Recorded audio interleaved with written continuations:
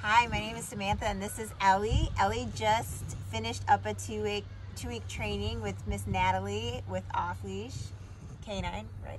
I just wanted to say that Ellie started with Natalie. Um, the reason we decided to do training was that she was a little stubborn.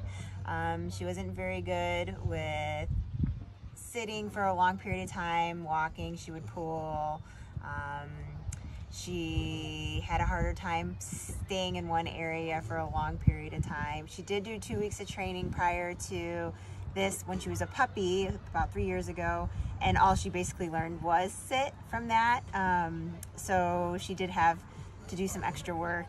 And being a Frenchie, she can be a little stubborn. And working with Natalie, she did so much better.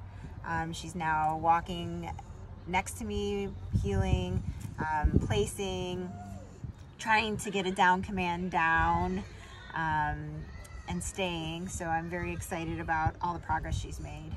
And I know she still has more progress to make. And I'm so grateful. So